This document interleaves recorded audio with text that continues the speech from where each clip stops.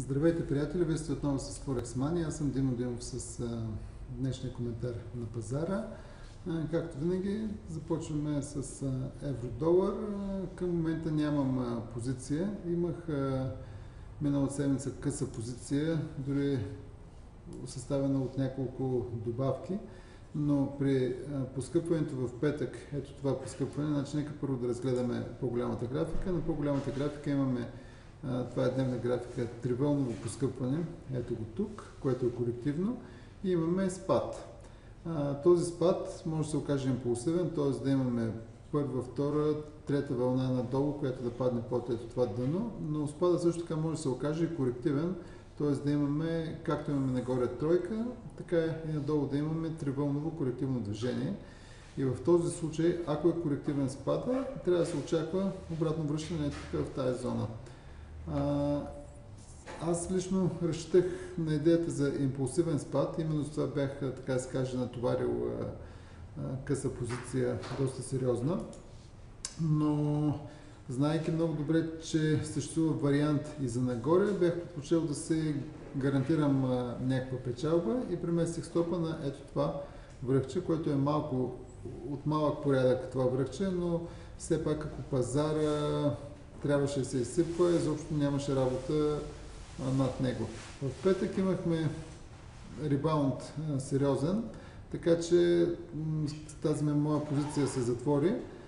Дори в петък се обърнах за нагоре, но по-рано днес при проба на ето това връхче, но по-рано днес затворих тази позиция, защото честно казано нещо не ми, не ми харесва как стои пазара.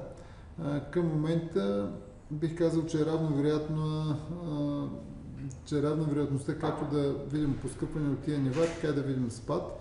Така че предпочитам да нямам позиция и да изчакам да се оформи някаква фигура преди да, да заема нова позиция в тази валутна двойка. Но като цяло, обзето, голямата дилема е дали ето този спад е импулсивен. Ако е импулсивен, предстои доста, доста надолу, или е корективен, ако е корективен пък е, предстои да видим обратно връщане тук в тази зона. А, така че просто съм стента сайт до момента, до който не видя някаква фигура. А, преди малко взех позиция в а, друга валутна двойка, която знаете, че следя. Паунд долар. Идеята е, а, че на часова графика имаме а, тривълново движение нагоре, ето от това дъно, имаме движение, корекция, движение и рязък спад. Така че това е а, тривълнова корективна конфигурация и по-скоро трябва да видим а, натиск надолу към това дъно и по-низко. А иначе на дневна графика паунда е, така се каже, доволно, доволно натиснат, т.е. той е под натиск. Така че ще видим какво ще случи. Ако тук пазара падне под ето това дъно, най-вероятно ще приложа любимата ми тактика, вместо стопа на 0, оттам нататък каквото стане. От друга страна, ако пазара качи, където ме е стопа, най-вероятно ще има, може би, нас в тази зона, преди евентуално пак да се търсят, лично аз пак ще търся някакви възможности за къса позиция защото просто структурата на поскъпването ми стои корективна към момента.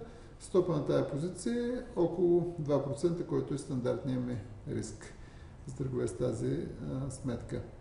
Това беше от мен за сега. Ще се видим отново в среда. Желая ви успех!